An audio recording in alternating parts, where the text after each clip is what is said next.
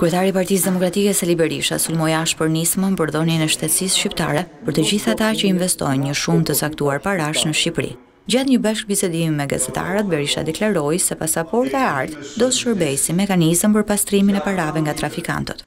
Dënoj me ashpërsinë më të madhe pasaportën e artë të Edi Ramës si një thirrje për trafikantët, kriminelët por dhe terroristë nga mbarë bota paguani që të mblidheni në Shqipëri.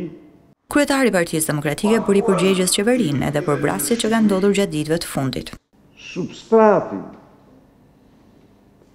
i këtyre përgjakjeve, i këtyre vrasjeve, qëndron në faktin se janë bandat e krimit që kontrollojnë në çdo qelizë këtë shtet. Janë në një farë mënyre shteti real i këtij vendi. Berisha komentoi edhe deklaratat e politikanëve socialistë për të ndryshuar ligjin e dekriminalizimit në mënyrë që t'i ndalohet atij hyrja në parlament. Qoftë se do të bëjë një ligj anti-Berishë, ta provojë. Ndërsa në lidhje me propozimin e fundit socialistëve për ndërhyrë në ligjin e dekriminalizimit për t'u ndaluar bashkëpunëtorëve të ish-sigurimit shtetit hyrjen në politikë, Berisha është shprehur kundër, duke sqaruar se nuk mund të ngatërrosh dekriminalizimin me lustracionin. Por nga ana tjetër ka theksuar se Partia Demokratike do të mbështesë një ligj të ri lustracioni.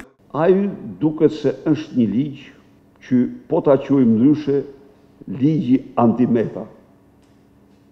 Po kjo është një gjë e cila bazohet siç u kam thënë unë ju, në një shpifje. Debati për ndalimin e futjes në politikë të bashkëpunëtorëve të ish-Sigurimit të Shtetit u rihap, pasi Autoriteti i Dosjeve njoftoi Parlamentin se ka gjetur dokumenta që tregojnë se ish-presidenti i Republikës, Ilir Meta, ka qenë bashkëpunëtor i Sigurimit të Shtetit.